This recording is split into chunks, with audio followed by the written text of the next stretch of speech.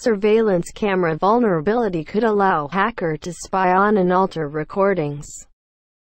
In newly published research, security firm Tenable reveals how popular video surveillance camera software could be manipulated, allowing would-be attackers the ability to view, disable or otherwise manipulate video footage. The vulnerability, which researchers fittingly dubbed Peekaboo, affects software created by NUUO, a surveillance system software maker with clients including hospitals, banks and schools around the globe. The vulnerability works via stack buffer overflow, overwhelming the targeted software and opening the door for remote code execution. That loophole means that an attacker could remotely access and take over accounts with no authorization, even taking over network cameras connected to the target device.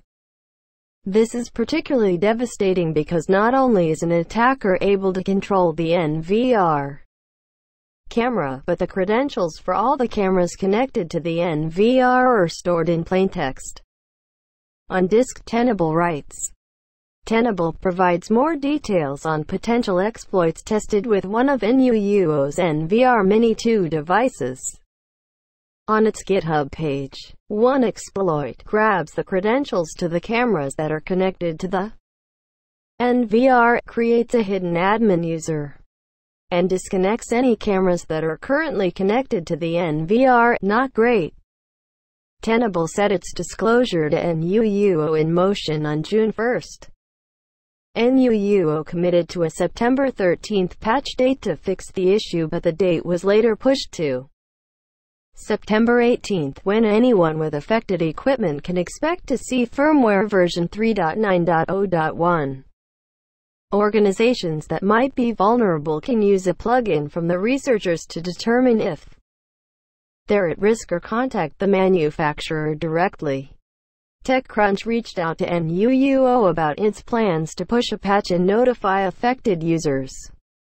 But what makes matters worse with this vulnerability is that NUUO actually licenses its software to at least 100 other brands and 2,500 camera models. Tenable estimates that the vulnerability could put hundreds of thousands of networked surveillance cameras at risk around the world and many of the groups that operate those devices might have no idea that the risk is even relevant to the systems they rely on.